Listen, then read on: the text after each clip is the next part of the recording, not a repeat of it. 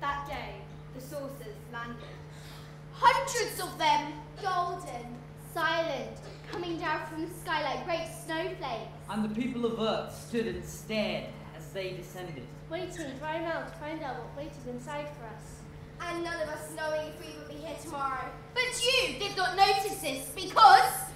That day, the day the saucers landed, by some coincidence... Was the day that the graves gave up their dead.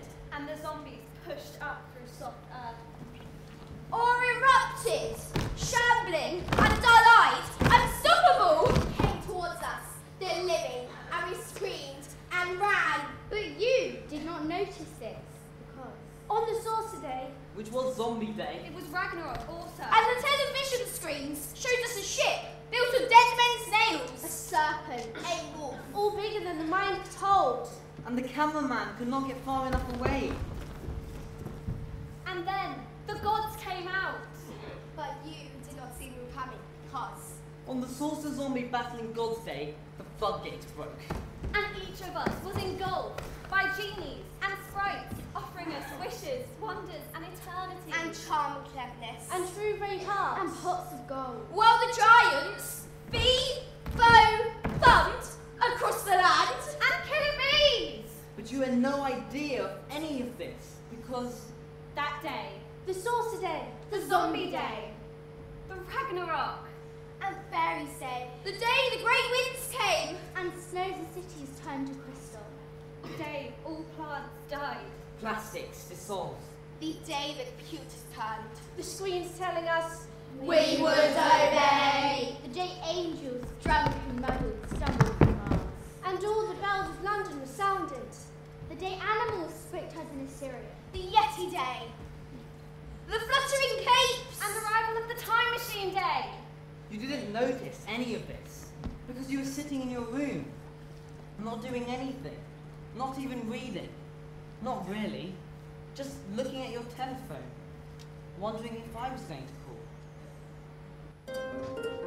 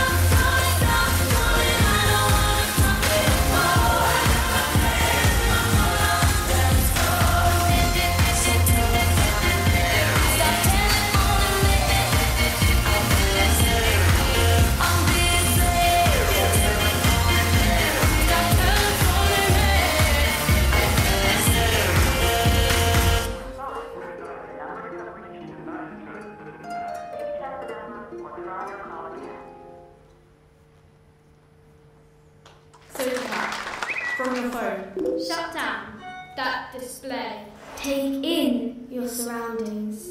and make the most of today. Just one real connection